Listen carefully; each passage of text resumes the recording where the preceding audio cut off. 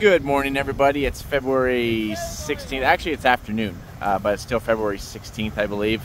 Um, you guys remember that Farm King auger that uh, we were changing the flighting in there last fall? We changed all the flighting and we stuck uh, a new Rodono Extend on it. And then we had some issues with a valve not being shut and it collapsed down on the bin, wrecked the auger. Remember me pointing that out last fall? Maybe I'll insert a picture here, but uh, so yeah, that auger basically is Caputo's. it's just uh, for the cost for those tubes that are bent. It's sorry to say, but it's a throwaway world it seems, and it's actually this is the cheaper alternative.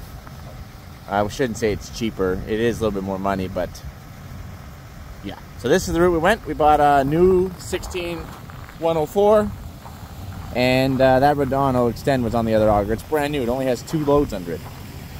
And so uh, we are uh, installing this Rodono on this new Farm King. Hold on here. There we go. Now you guys probably have a few questions like, Mike, why the 1604? And why not like the 16124, like what you have at the North Farm? And the answer to that question is because these bins are only nine ring bins. Point out what that means for maybe some of you who are new. All right. Each one of these represents one ring. So one, two, go to the next set of bolts, three, four, five, and so on. So these are nine rings. Okay? You can easily reach a nine ring bin with a 104. You can actually do it with an 85, a 16185, but uh, 1685, sorry, not 185. But it is pretty hard on your PTO drive shaft because they're at such an angle that we pretty much go through one of these per season when we only have an 85 auger, 85 foot auger going in that bin. Now, these are 4809s, so they're 48 foot diameter. If you had, say, a 42 or uh, like the bins up north are 42 12s, they're 12 rings high, so you have to have that 124 to reach them. But the eave in the diameter makes a big difference, right? If you only had a 4209, uh, it wouldn't be near as hard, I don't think, on your uh, U-joints on your auger because you don't have to have it so high so you don't hit the eave. Anyways, we want to get this installed. We're kind of, our backs are against the wall here, and the reason why is uh, Donovan semi's running I just got back over here with my semi and we're cleaning seed and uh, we're not cleaning it here. Normally, like nine and a half times out of ten, we always clean our own seed. But due to we're running a little bit behind this year because we had to work on drills that actually wasn't accounted for. And as a go back to some of your guys' questions, why didn't you do those bushings in the summer when it was super nice out? Because we didn't actually plan on doing the bushings. I actually thought it would go another year going to do the bushings this summer. But then when we started digging into them a little bit closer and started pulling some apart, like, ooh, boy, I don't know if we're going to be able to go that other year. So then we're like, dang it. We did not plan on doing that, so that's the reason why we had to do the bushings in the winter. So anyways, since we had to do that, we're a little bit behind here, and uh, we're actually getting some clean, or seed custom cleaned. And unlike the North Farm, when I had a guy come in to clean at my yard, we are just loading up the trucks and hauling it uh, to another town, and they're cleaning they're cleaning it there for us.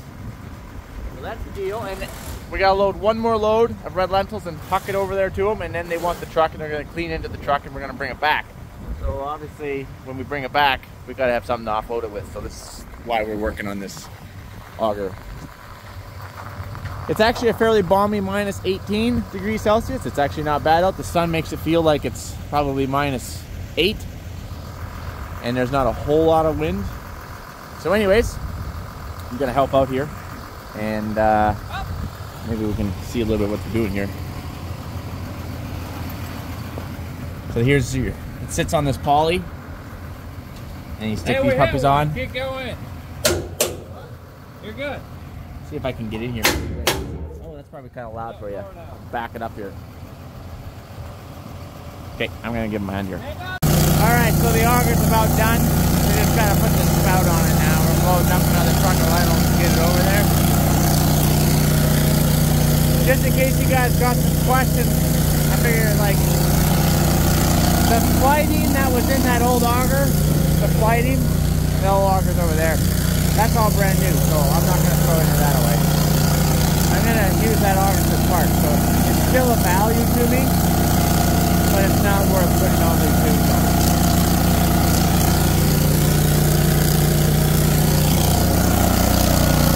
This is where you go if you want to warm up. Note it's going to get kind of loud, so maybe adjust the volume.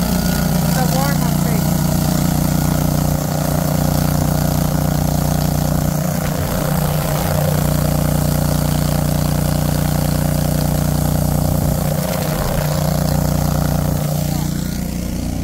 We're nice and warm for a little bit here.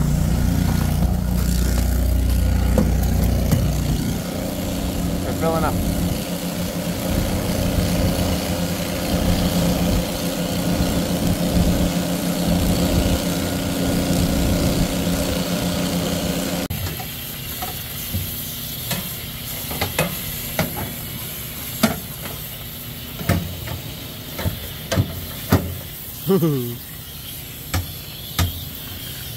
Still hotter than gold now. Feels cold. So yeah. Come on there. Oh, it's down here. You gotta flip your hand around. There it is.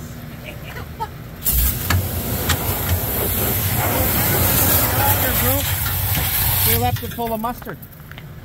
And uh, if we just engage it when it's full of ice, we'll just tear the flighting right off. I think we should have tried though. Like, I don't know.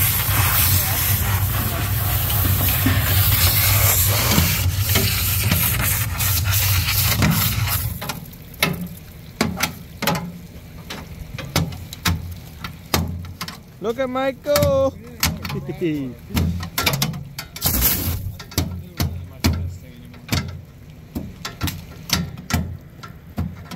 is not to bend the floor of the brand new uh, Renault.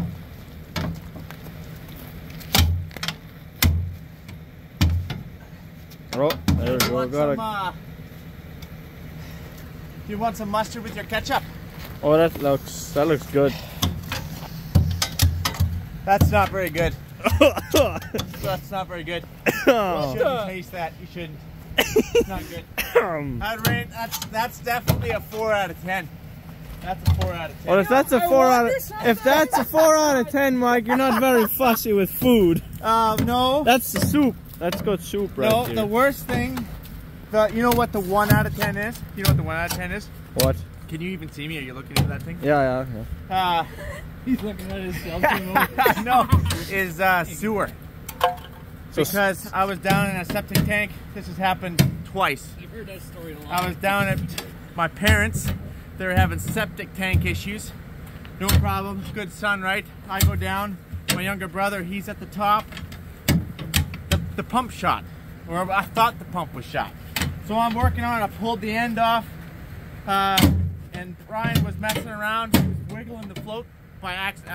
I, he says accident. It wasn't an accident. Anyways, the pump turned on and it just shot me right in the face, like the full inch and a quarter, just. And I was spitting pee. Well, whatever else was in that sewer, I was spitting out like I had a whole mouthful. Like some of it went down the throat. and I'm like, ah, fuck, fuck, and it just covered me. Yeah, That was a one. That is probably the worst that I've experienced. that's the favorite story to tell around the fire. I know everyone tells that story. Story. That's the first time I've heard it. Really? Really? You haven't heard that one before? Yeah, I've been in enough long times.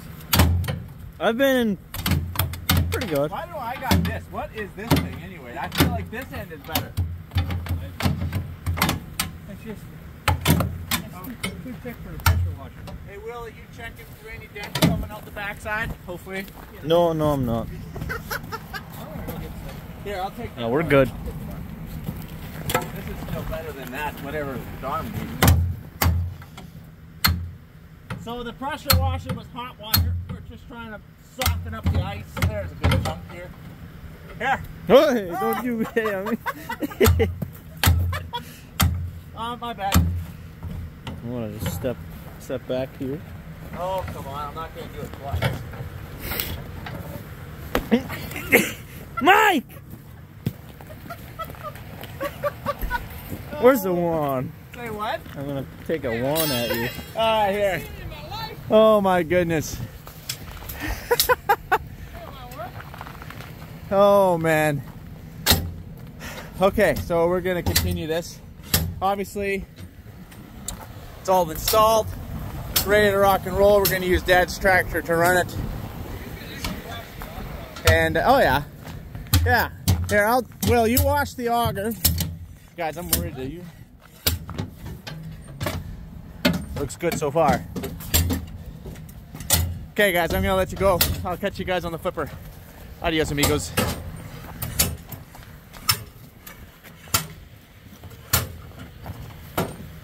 Uh, the biggest problem is holding this thing. All right, see you guys later. Adios, amigos.